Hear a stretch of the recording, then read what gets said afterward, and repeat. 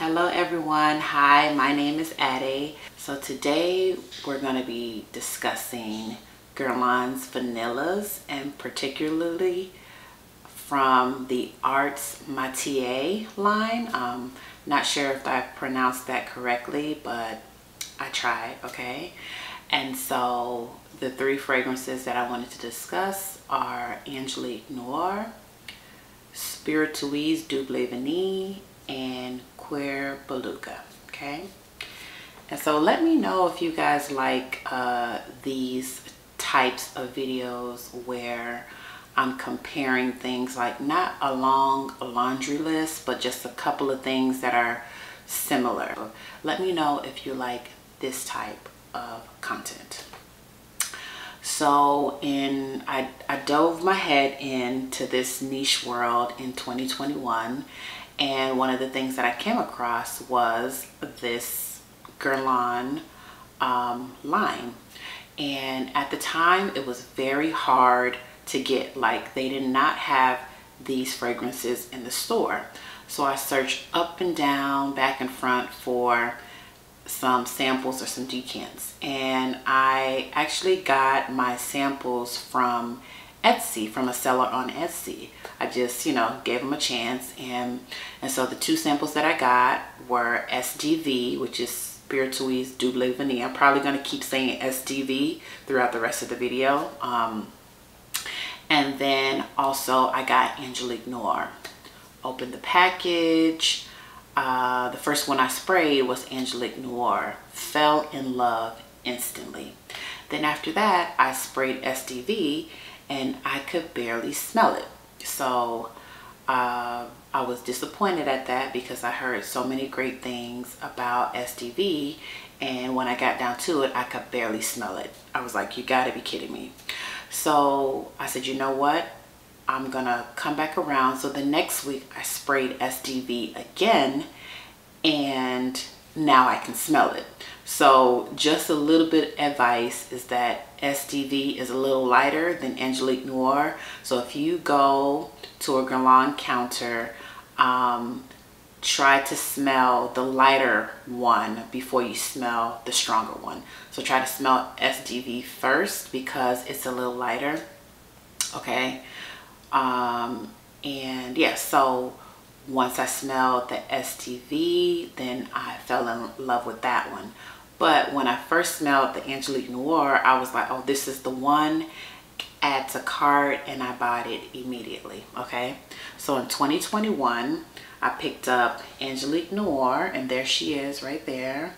And so uh, the first thing I smelled was that greenness, um, a greenness and vanilla, okay? So for somebody who doesn't know notes, they wouldn't know, you know, if that's Angelica, they wouldn't know what that is.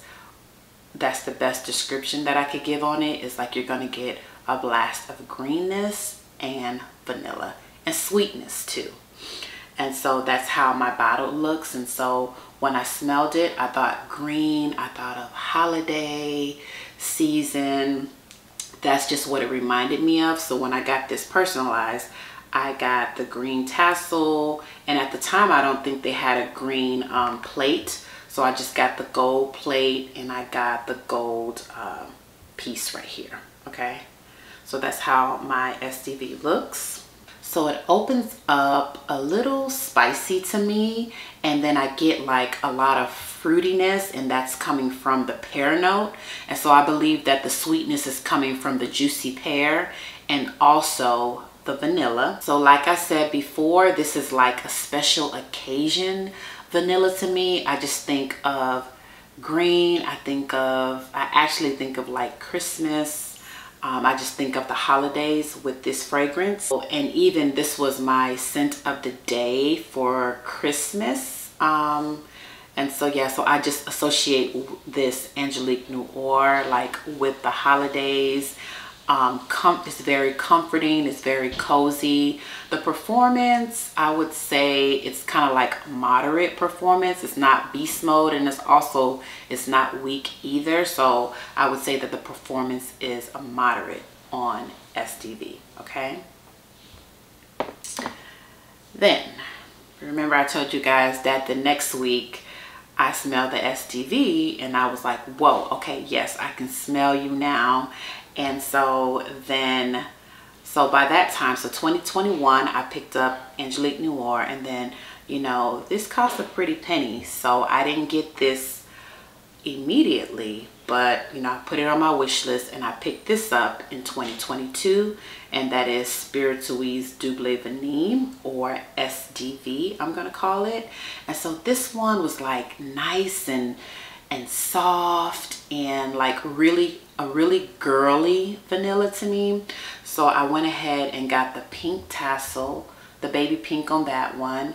And also the plate is like a, it's not a real leather. I don't know if we're gonna call that pleather, but um, it's the matching pink to go with that. And again, on the back it has the, the Guerlain B and then it has my three, um, the first three letters of my name right there, Ade, engraved on the back.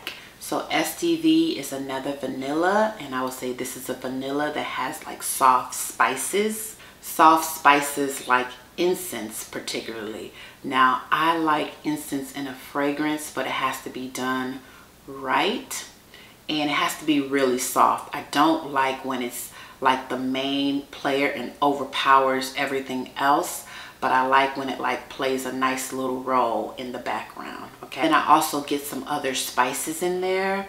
And so in the opening like I said I get and I also get like a touch like it smells like a little boozy to me just a little bit. But in the dry down I get like these resins and I guess that's coming from the benzoin in there. And so and it's sweet as well not syrupy sweet just a little sweetness in here. And this fragrance though I mostly wear this just in the house and I wear it to bed. I know it's so expensive just to be wearing in the house right? But the issue for me is that this one just doesn't last. It doesn't perform well at all. But I mean it's it's a really beautiful scent. But is it worth the price? Well, obviously, yes, because I bought it. but will I repurchase it? I'm not sure. So I'm trying to let this sit and macerate. Maybe the performance will get better with time. I'm not sure. But for now, I've just been really just enjoying it like in the house, like as a cuddle scent and so yeah and so that is my SDV it's really good but the performance makes me sad okay now I know you guys keep hearing me talk about in other videos like I traveled to this country I traveled to this country yes I did and I traveled there a few times and so I'm gonna bring it up again so on my trip to Turkey I got to smell the entire line and this is before they even hit the stores. I believe they hit, they had a pop-up shop around the US in November of 2022.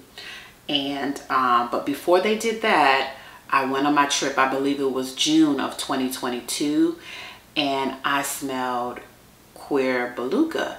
And I was like, what in the world? I rarely hear anyone talk about this one so this is another vanilla, but this one has a suede note in it. And I would say the suede smells like a soft pillow, like the pillowcase of a pillow. It's like soft, it's really smooth. So um, with, I will compare it to like liquor, right? So sometimes you have like a harsh liquor, like let's say a Hennessy, and then sometimes you have like a smooth liquor, like a Patron, or what I call it, Patroni-tron. Mm-hmm. Yep. And so that Patron goes down super smooth. And so I associate that with the suede. And that Hennessy is strong. I mean, it stings you know, you right there when you take it back. And that is kind of like more harsh like leather. And so the Cuir Beluga, the suede in there is like super soft. It's super smooth. You know, I could see myself wearing like some nice black leather with a red lip. And so that is what this reminded me of.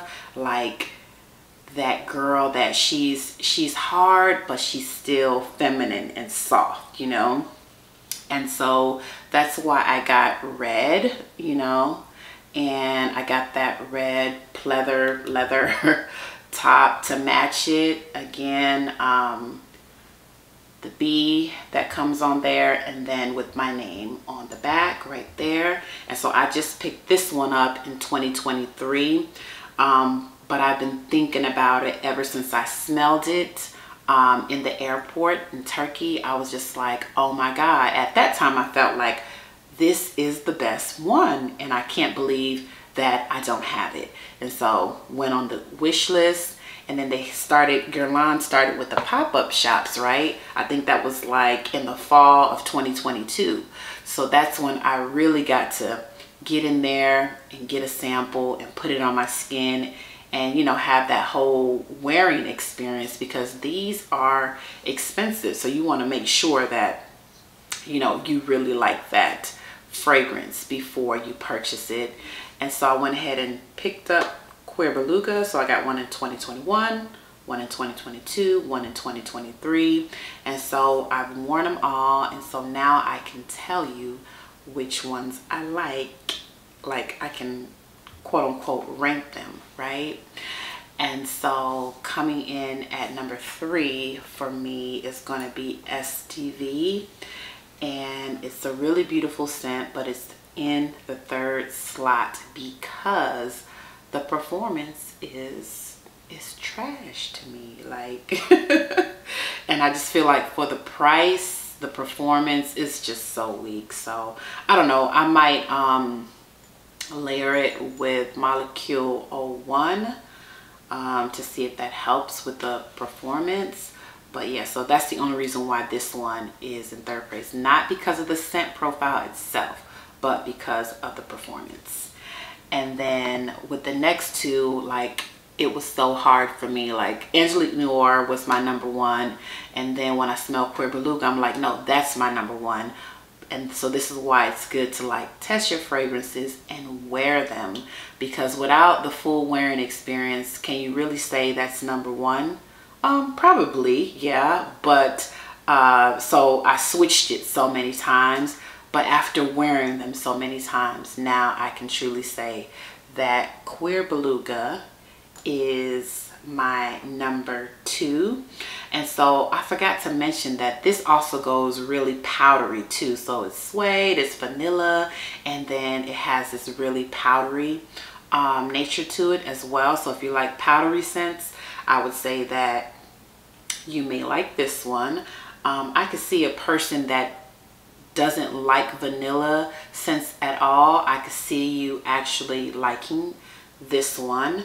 Um, and I could see a person that loves leather scents being upset with this because it doesn't pack that punch like leather does okay so um, just because you see the Cuir in the name and you're thinking that it might be might have like a heavy suede or heavy leather it does not um, but I'm not really a leather person so anyway so I really like how the suede is done in this fragrance and so Cuir Beluga comes in at number two. And then number one is my first Guerlain purchase uh, from this line and that is Angelique Noire. And I think that I have it in the first place because I love green. I know sounds crazy, but I love like a grassy note. I just like green. Um, fruity florals and yeah so this is that green this is the green that I do like now a lot of people don't like this fragrance because of the greenness so um, I would say I would would not recommend you blind buying this fragrance at all because one it's expensive. I would rather you go to Neiman Marcus um, and Saks as well. They both have this line now and just go down there and um, get your nose on these fragrances because they're really expensive to blind buy actually. Um, and so this one I'm just in love with it and there's I love the uh, the vanilla and the pear. Like there's like this juiciness and there's a sweetness. So out of all of these this one is the sweetest. And I do like sweet you know in my fragrances. And so this one it's coming in at number one. It's the winner and that is Angelique Noire okay? So that is my take on the three vanillas that are in the Arts La Matière line. Hopefully I pronounced that right. Um, and so thank you all so much for watching.